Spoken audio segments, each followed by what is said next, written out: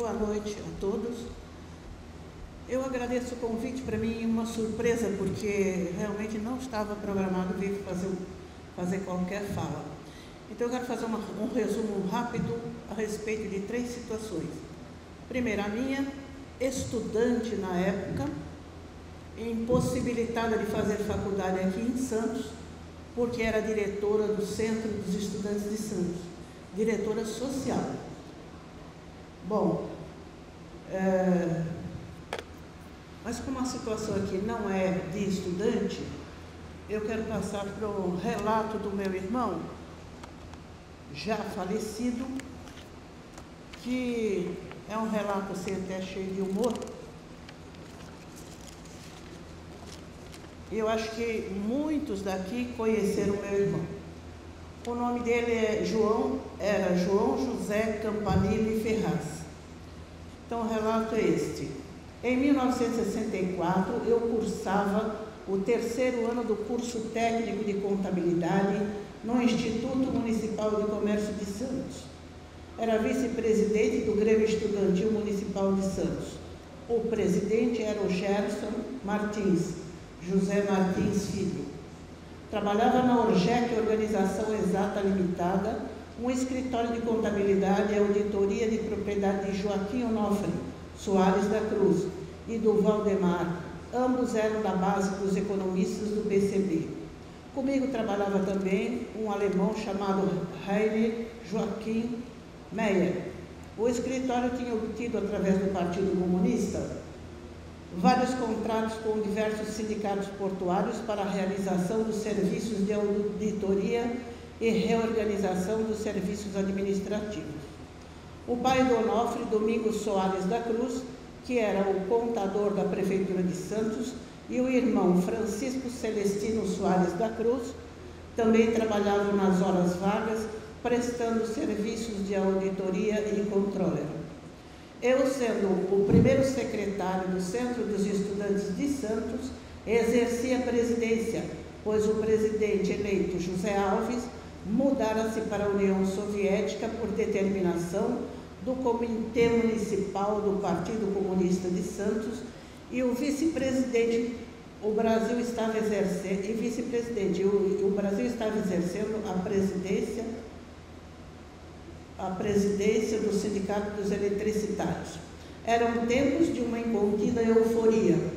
Eu dormia pouco, trabalhava de dia no Sindicato dos Portuários e à noite estudava e depois das aulas ia para as minhas atividades no Centro dos Estudantes de Santos.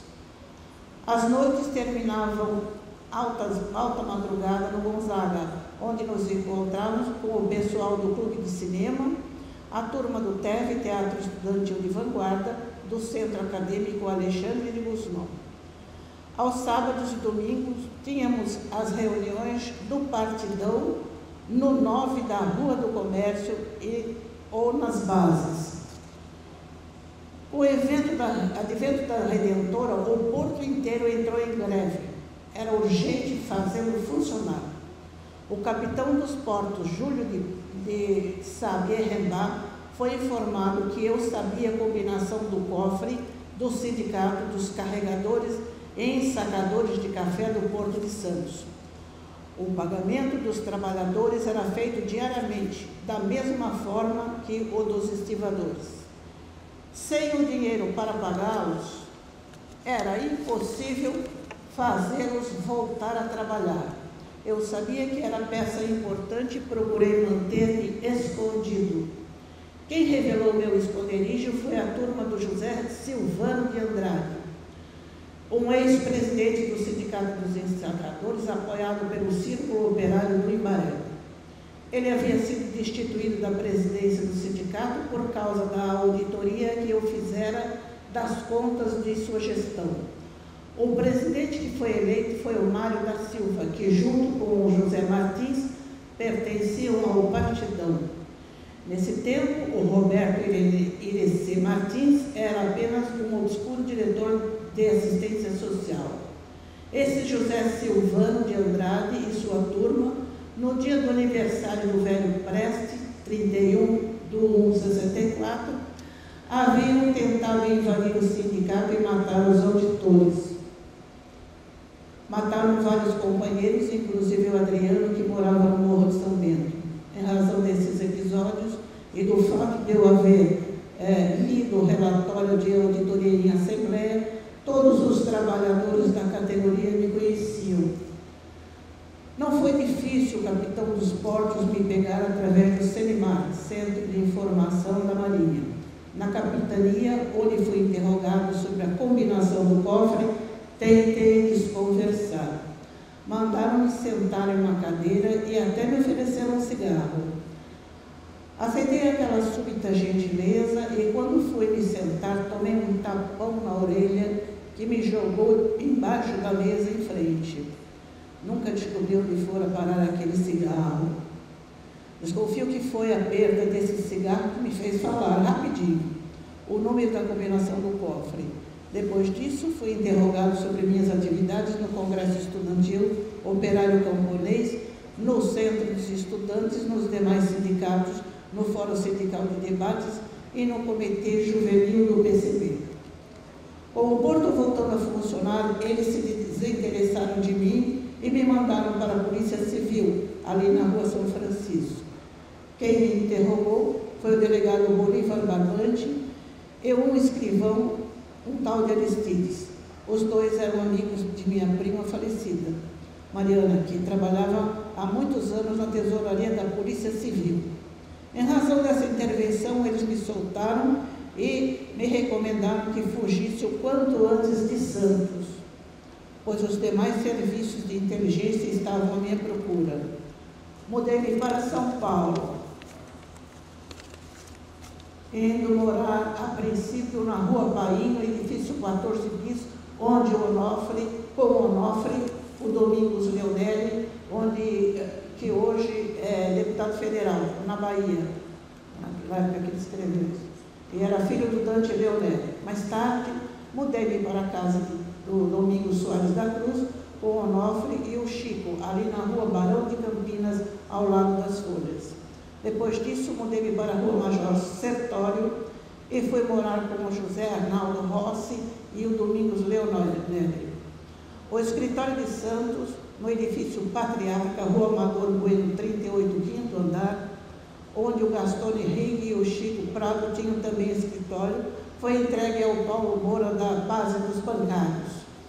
Estive na clandestinidade até meados de 1968, quando voltei a estudar em uma faculdade do sul de Minas Gerais. Só consegui me formar em 1973. A Redentora roubou 10 anos do melhor período de minha vida.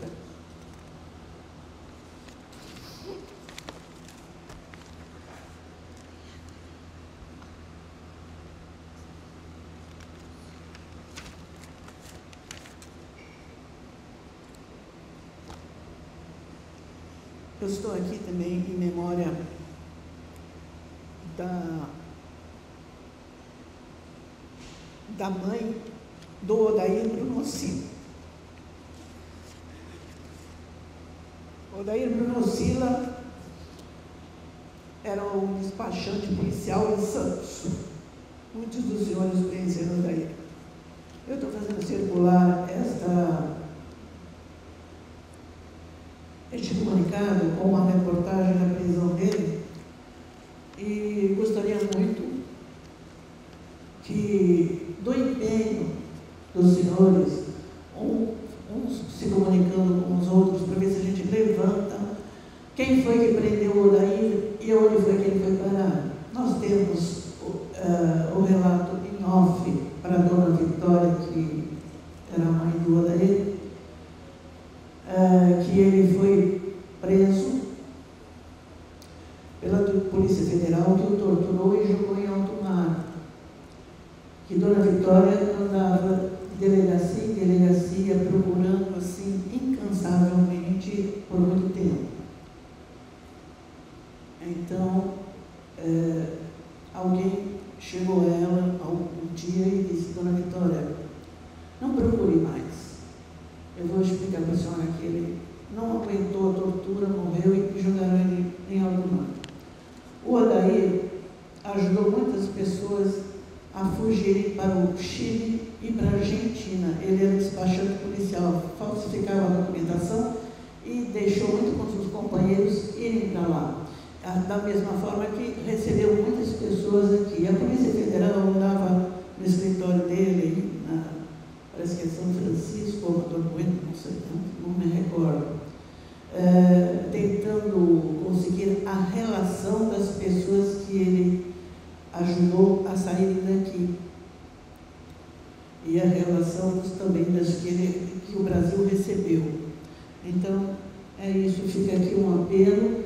Nessa reportagem tem algumas perguntas e o, a direção aqui, o, o, o contato com o Maurício Valente, da Comissão da Verdade na Câmara Municipal, quem souber, então, por favor, entre em contato com o Maurício Valente, ou comigo, no meu e-mail, ou com o filho o e-mail dele. Por favor, gente, vamos fazer, vamos